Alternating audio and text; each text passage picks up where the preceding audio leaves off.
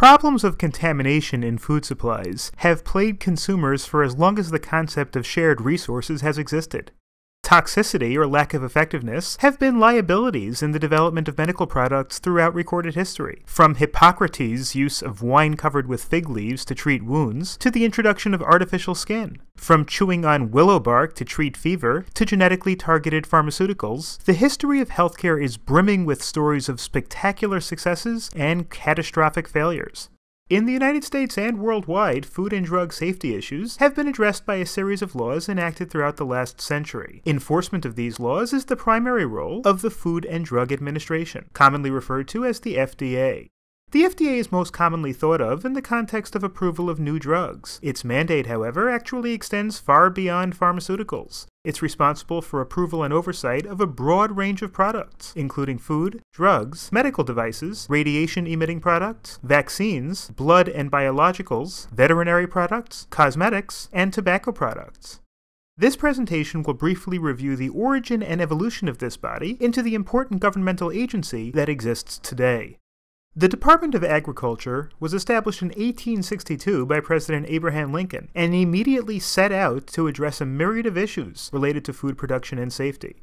As it became apparent that the problem of food adulteration was becoming more and more widespread, a special division of the Department of Agriculture, the Bureau of Chemistry, was charged with enforcing a groundbreaking statute known as the Federal Food and Drugs Act of 1906. The regulatory wing of the Bureau of Chemistry saw its responsibilities and authority evolve, and it ultimately became known as the Food and Drug Administration.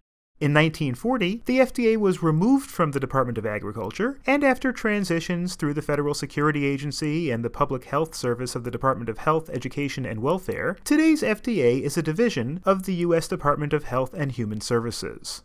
Prior to the creation of the FDA and its antecedents, control of adulterated and misbranded foods and of drugs was haphazard at best. State and local governments loosely and often ineffectively monitored food and drug production and claims of ineffectiveness for medical products.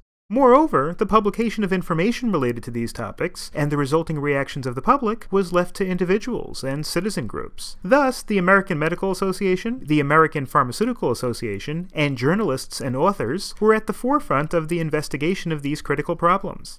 A famous example was the publication of Upton Sinclair's novel, The Jungle, which highlighted health violations and unsanitary practices in the American meatpacking industry, which led to meaningful reforms.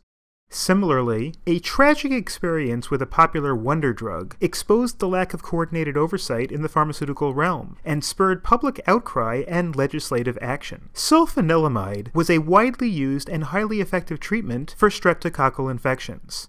It had been used safely in tablet and capsule forms with impressive curative effects for almost three decades. In an effort to satisfy a demand for a liquid form of the medicine, a new formulation was developed, in which the drug powder was dissolved in diethylene glycol, the unpleasant taste was masked with a flavoring agent, and this new sulfanilamide elixir was quickly dispatched in September of 1937 to eagerly awaiting clinics throughout the various sections of the country.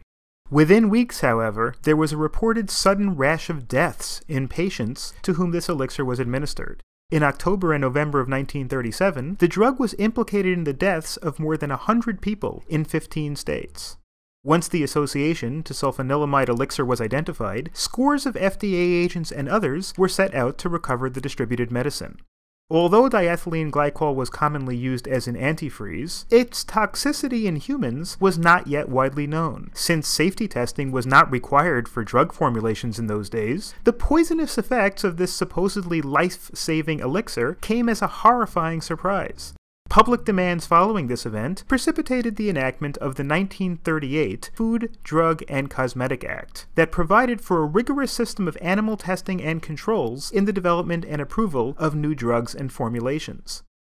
Numerous amendments to the original Food, Drug, and Cosmetics Act and the additional related legislation in subsequent decades have dramatically expanded the authority of the FDA to enforce regulations in a very broad arena. Today, FDA devises and enforces policies related to the development, testing, manufacturing, and marketing of a diverse range of food and health related entities, including testing insulin and antibiotics, regulation of chemical pesticides, regulation of food and color additives, distinction between prescription and non prescription medications, regulation of drug efficacy, ensuring good manufacturing practices, control of prescription drug advertising, regulation of therapeutic agents of biological origin, and oversight of nutrition labeling. In recent years, consumer demand and political pressures have led to FDA efforts to accelerate drug approval timelines, particularly for drugs for rare diseases and for treatment of new illnesses such as AIDS. FDA has responded to the needs of both patients and researchers by improving techniques for the development and testing of new drugs and drug formulations, as well as by extending patent protections to allow for time consuming testing and approval processes. It has also modified the review processes for generic versions of drugs in order to encourage and facilitate the development of lower cost alternatives to brand name products. The overarching responsibility of the FDA is to ensure, as far as possible, that the foods and drugs that we consume are safe, and in the case of pharmaceuticals and other medical products, that they will have a positive impact in the treatment of a medical condition. However, while lack of efficacy is a significant disqualifying factor for any drug being brought to the market, the basic guiding principle, first and foremost, is the same as that stated in the Hippocratic Oath that is sworn to by newly graduated physicians. First, do no harm.